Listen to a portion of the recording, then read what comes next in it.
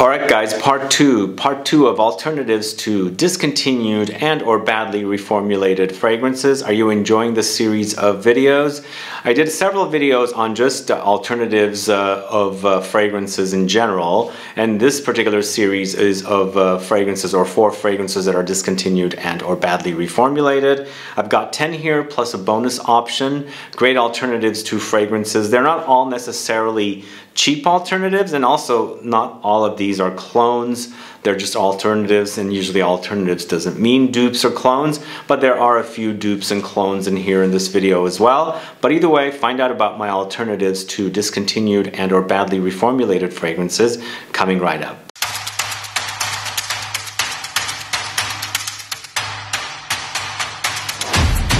Thanks so much for tuning in. This is Sebastian. Is there a fragrance that you love that's been discontinued or really butchered, badly reformulated?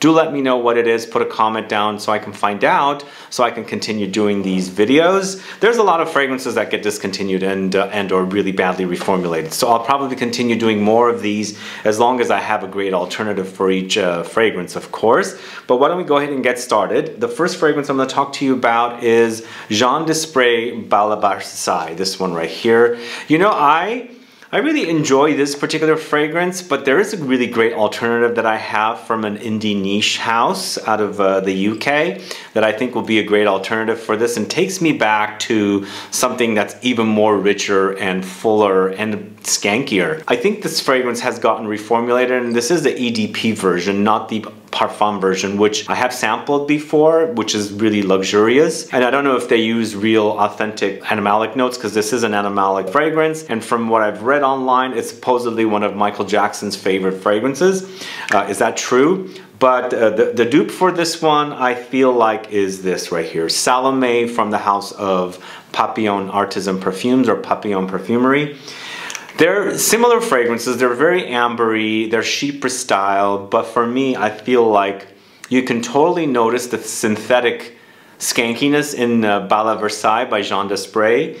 But with Salome, it smells so freaking fantastic, so vintage, so good that it really knocks the uh, Bal à Versailles off wherever it's standing on because the Salome, you know, it's got the castoreum, the hyrax, there's cumin, jasmine, oak moss, carnation, and styrax. Everything just feels more alive. And when fragrances, you know, do get reformulated, uh, I feel like they lose its luster, like they just don't have the oomph to them. And even though Bal à Versailles, I think they've kept it as best as they can. I feel, I feel like it doesn't, it's missing something. So when you compare the two, they're not gonna smell totally identical, but put your nose on Salome if you like the skank of Bal à Versailles and you'll see what I'm talking about. But either way, a great alternative for Jean Desprez's Bal à Versailles is Salome from uh, the House of Papillon Perfumery.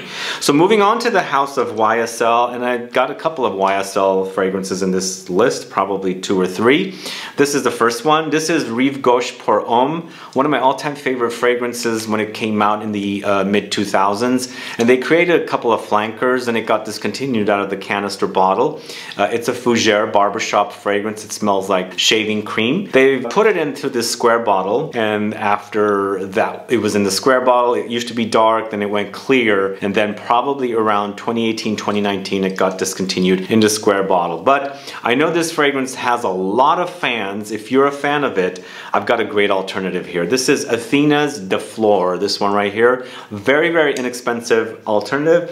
And I would say this could be a clone or a dupe of uh, Rive Gauche pour Homme. And for me, I always felt like Rive Gauche pour Homme was not like a beastly fragrance. It kind of had its lightness about it, but great smell. Really did smell like shaving cream. Really the, a job well done. I believe it was created by uh, Jean Jacques Cavallier, who does the Louis Vuitton fragrances now. But Athena's De Flore smells really, really close, if not identical. Also has a little more thickness than the original, but it's definitely very, very similar. And if you're looking for an alternative, a very inexpensive alternative at that, because it's around $65 for 100 ml, uh, and I don't know how much these are now and if you can even find them.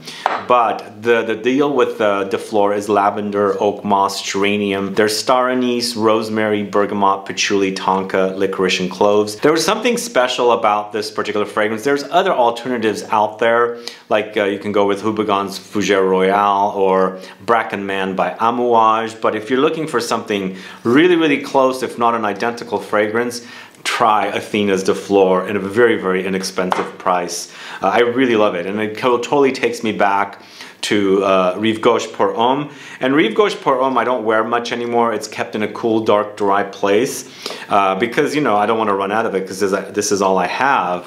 But now I have a great alternative. It's Defleur from uh, Athena and it smells just like Gauche Pour Homme does. This video might also go a little masculine leaning because a lot of the fragrances sadly in this video are masculine fragrances. But sometimes the alternatives might be unisex. In this case, this is a fragrance from the house of Paloma Picasso. It's Minotaur, uh, and a great alternative for it would be Wake Up World from uh, the house of uh, Parle-moi de Parfum. In this case, Minotaur is a masculine targeted release. Wake Up World is a unisex targeted release. And I was a huge, huge fan of Minotaur in the early 90s. I wore it. I especially loved this bottle so much. It meant a lot to me because it had this kind of frosted effect effect to the bottle and really loved holding it and spraying a ton of it. It used to be Beastly back in 1992, 93. Uh, it is such a really bad reformulation now. So bad. You can still buy it for about 25 bucks or 20 bucks, but it smells like fruity water now. It doesn't even have uh, any kind of a depth to it. But uh, Wake Up World, uh, is a great, great alternative. It kind of comes really close to it. It's created by the same perfumer, Michel Almairac. He created Minotaur and he created Wake Up World. And Wake Up World for Parle-moi de Parfum is a brand that has been started by the son of Michel Almairac, who created both fragrances. But what I like about Wake Up World is vanilla, benzoin, ambroxan, green apple, damask rose, dihydromyrcenol. And for me, what I liked about this fragrance, the original, is the fruity amber, but had a freshness to it. So it had its depth, it has its intensity, or had its intensity. So it had the ambery touches, but also the fruitiness in there. So you could wear it in the summertime. It won't kind of like be cloying, although it was a bit much more cloying. But here with this one, one in the wake up world. It's so great. It smells so alive. It's like something's just been the way they've created it just takes me back to the way the original fragrance is. If you wear the Minotaur now, you'll notice how bad and flat the fragrance is. Just imagine opening up a can of Coke and leaving it there and it's it's lost its fizziness, it's just gone flat. And that's how Minotaur wears now. But Wake Up World to me is a great, robust, and very lively version of the original fragrance. They're not identical, but definitely smells very, very similar and takes me back to how Minotaur by Paloma Picasso used to smell. So Wake Up World is a great alternative to Minotaur by Paloma Picasso. All right, moving on to the House of YSL again, another male targeted release, and both of these are male targeted. So, uh, of course, some women wear ma masculine fragrances. I think uh, they enjoy the kind of notes that are in masculine fragrances. So maybe some some of you ladies might like this one. But we're going to the House of YSL, as I said. This is one of their early, early fragrances for men. It's Pour Homme in the reformulated uh, bottle. It used to come in a red bottle or a clear bottle with a red cap, I believe is what it used to be. I've forgotten how it is. And it's kind of a Chypre Fougere fragrance and really fresh and lemony. And a great alternative for me is Scandal Pour Homme Parfum. You can also go to Scandal Pour Homme uh, Cologne, Parfum Cologne, I think it is, from the house of Raja Parfums, because it has that Chypre Fougere barbershop qualities that uh, the original Pour Homme has. But the Pour Homme has gotten really badly re reformulated in this version, so it's very, very light. And I I know it's been removed from the USA website. I don't think it's on the French website. I could be wrong, but I believe it's completely gone. But a great, great, very lively, robust, and really rich version of uh, YSL's Pour Homme is a you know Scandal Pour Homme. And again, as I said, you can go with Scandal Pour Homme Parfum or Scandal Pour Homme Parfum Cologne. Uh, the other one's fresher. This one's deeper and richer, and features lemons, lavender, oak moss, ambergris, musk, bergamot, petitgrain, basil, mint, and tarragon. So it's very aromatic and herbal and also very, very citrusy green. Very, very fresh and musky as well. Uh, I think it's a great, great alternative to YSL's Pour Homme. So moving on to the House of Dior, another male targeted release. This is, of course, Fahrenheit in this bottle. I'm not talking about Fahrenheit Le Parfum or Parfum. This is the original Fahrenheit that came out in 88. Another fragrance created by Michel Almairac. He, he was uh, top of his game in the late 80s and the 90s. This fragrance has gotten watered down. I think it still smells great, but it is not what it used to be and something in here is missing that it was there. The depth is gone, it's much flatter. It smells pretty good, but there's something missing in here. There was always something, this really thick medicinal spiciness that, that's kind of gone. For me now, it's more just violet leaves and the freshness and ozonic qualities the violet leaves has. The leather is hardly there now, but man, it used to be like, it had this weird cinnamony spiciness. It almost came off like red hots to me when I wore it in the late 80s, hence the red bottle as well. But now there is a version you can try from the House of Amouage called Portrayal Man. It's basically taking it to the more leathery animalic direction of the original Fahrenheit. Uh, very, very deep dense, dark, woody, and very masculine fragrance here. So the Portrayal Man does feature violet leaves, and of course Fahrenheit does as well. But with Portrayal Man, you also have vetiver and juniper berries. But there's a lot of spice here. It doesn't have the um, like the red hots type of spice that I, I, remember Dior Fahrenheit used to have, but definitely has spices. It's really, really rich and heavy. Could come off animalic and sweaty with the Portrayal Man, but it's totally lots of violets, very green, earthy, woody, a bit floral, and definitely uh, animalic and leathery as well. So Portrayal Man is a great, great alternative to Fahrenheit, the original in the Eau de Toilette. And I think Portrayal Man also has great longevity compared to Fahrenheit in the Eau de Toilette in the current version. It's an Eau de Parfum, but the, the kind of notes that are in here just make it last a long, long time. So those are the kind of fragrances you guys want. Portrayal Man, I, as I said, is a great alternative to uh, Fahrenheit from Dior. Moving on to the House of Tom Ford, we've got unisex fragrances finally. We have a Vert de Bois from Tom Ford, one of my favorite green fragrances that launched in that uh, trio or four different uh, green fragrances. It was Vert d'Encens, Vert Bohème, Vert Fleur and then uh, Vert de Bois. Vert de Bois had that kind of licoricey ouzo accord that I really, really enjoyed here. But it also had a bit of a mossiness, like a wet, mossy, green, earthy, kind of like a forest floor type touch. But really a great fragrance. Sadly, it's discontinued. I only have 150 ml bottle in addition to this. This was like almost empty. Uh, so I, I, I have to use it very, very sparingly. But there's a great alternative here in a fragrance by Aesop called Eremia. Once again, they're not similar fragrances, but it kind of gives you that effect of the greenness. Uh, it's galbanum, iris, and yuzu. So it's kind of very green and bitter, but very fresh and aromatic, bit powdery and citrusy as well. But a great alternative to Vert de Bois if you have been looking for an alternative to uh, Vert de Bois. Aesop fragrances are a little underrated. They have stores that uh, they sell, you know, like skincare products and things like that. And I feel like they do a pretty good job with their fragrances. They do have a cult following following and there's several of, I have every single one of their fragrances. I do enjoy the fragrances a lot. They're different uh, a little more hipstery kind of fragrances but I like them. A little on the more expensive side as well. But if you've you know familiar with Tom Ford prices you kind of have an idea of um, the fragrances with the Aesop. But in general if you bought this uh, you know, like if you bought this, it's definitely less expensive than, uh, no, I'm sorry, the Aesop is less expensive than the Tom Ford. But either way, try Eremia if you're looking for an alternative to Vert de Bois. I think it's a great alternative and it'll remind you of Vert de Bois, for sure it reminds me. The next fragrance is also unisex, but one of my favorite fragrances from Byredo was, uh, or is still, Unnamed. Uh, Unnamed is a very violet forward fragrance but it was uh, released as a limited edition, pulled, brought back, and it's been pulled again. And sadly, you can't get unnamed anymore unless you find a bottle somebody's selling. But I liked its freshness. I liked its kind of uh, very violety, kind of ozonic touches that it had and spices and things like that. But you know, as I said, it's really tough to find now. But there is a fragrance called Fire from the house of Eloria, and you can take advantage of that and get that in, addition, in, place of the unnamed.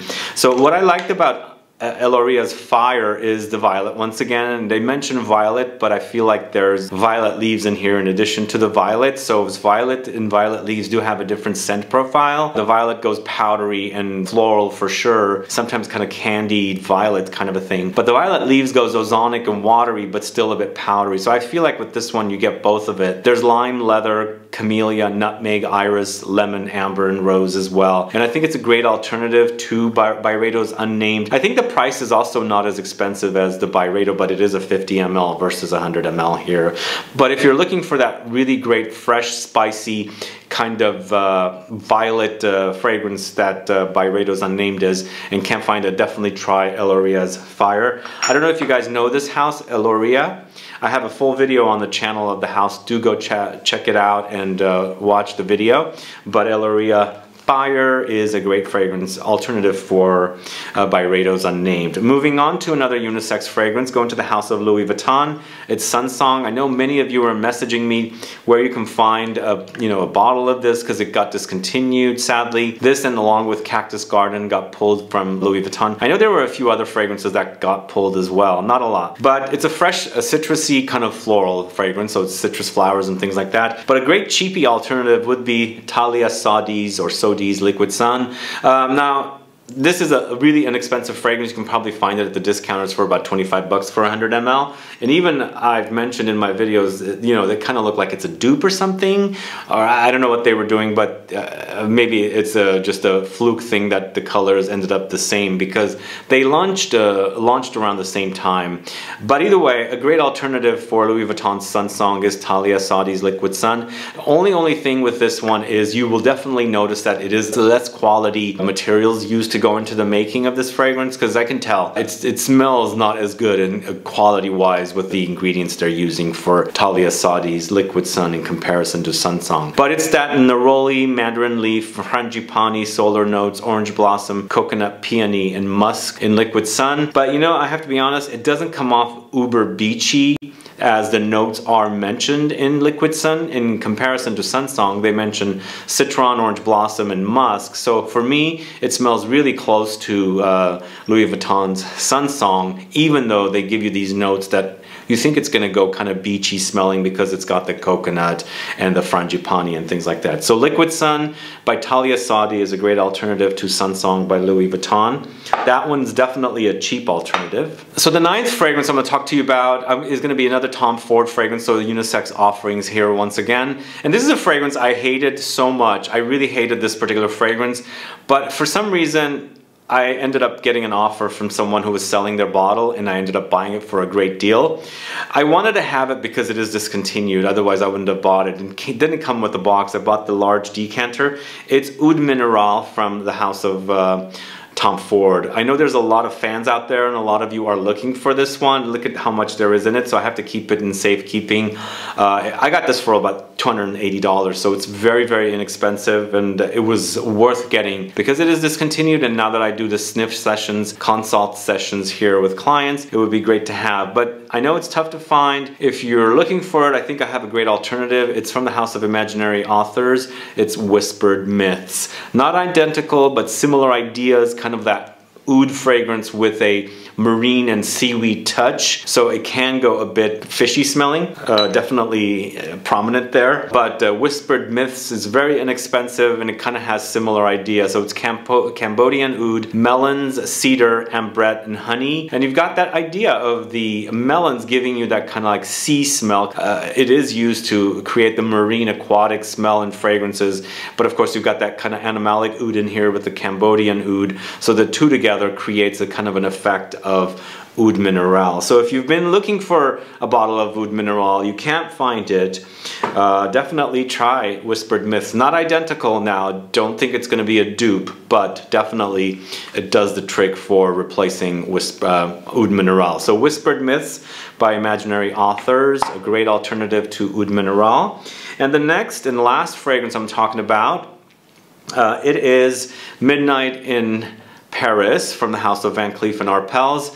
One of my all-time favorite fragrances when I first got into the reviewing game, it was uh, readily available for like 25, 30 bucks. So it's really sad it's discontinued. It was one of the best designer fragrances and it was also a unisex offering. So sadly it's gone now. I always thought Midnight in Paris kind of reminded me of Bulgari's Black. That is discontinued as well. So I can also feature that or mention that fragrance in this video as well. But a great alternative to those two is Prada's Luna Rossa Black. Not identical, not a dupe, not a clone, but it'll remind you. For me, the Midnight in Paris is a lot more syrupier and amberier, and there's something in there that kind of hints at Luna Rossa Black. And the Luna Rossa Black for me is a lot powderier and a bit vegetal, so not as ambery and wet syrupy like the Midnight in Paris is. But I think it would make a do the job or the trick, or just a suggestion, go try it out yourself to see if it'll work for you. But either way, alternative to Van Cleef & Arpels Midnight in Paris is Luna Rossa Black from Prada. And that's the last fragrance for you guys.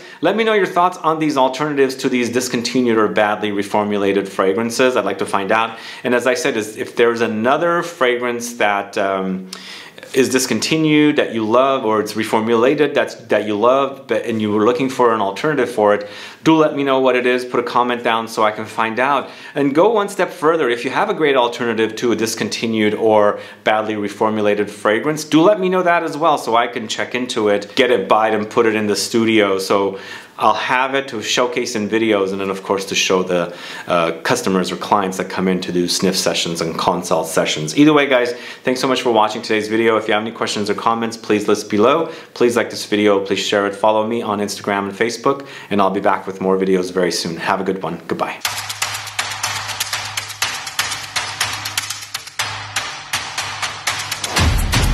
So as a bonus option for you guys, I don't have the original fragrance because I never owned it, but a lot of people mentioned this is a great alternative. It's Gucci Pour Homme 2003 version, uh, which is a very popular and sought after fragrance.